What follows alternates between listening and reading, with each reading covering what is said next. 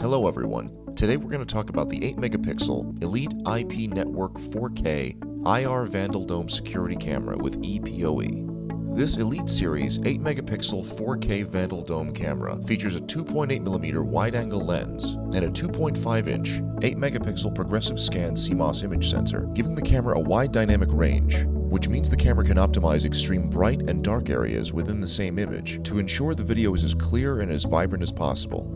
This camera also includes an infrared sensor with 18 LEDs, allowing it to see up to 98 feet away in complete darkness.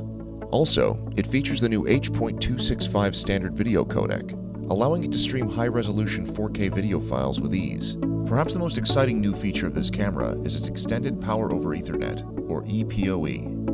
Standard PoE has a transmission range of approximately 100 meters. EPoE extends that to around 800 meters, and it allows you to use any pre-existing coax infrastructure by using an Ethernet over coax converter, preventing the need for extensive modifications or rewiring of your current system. This camera is designed to work with our new Elite Series 4K NVRs and can be powered by either PoE or 12 volt DC power.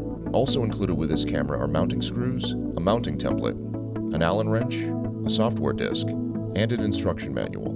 This product includes a two-year warranty, free US-based tech support for the life of the product, and free remote monitoring apps. Thank you for watching. For more information about this camera or any of our other security products or services, please visit us online at www.securitycameraking.com.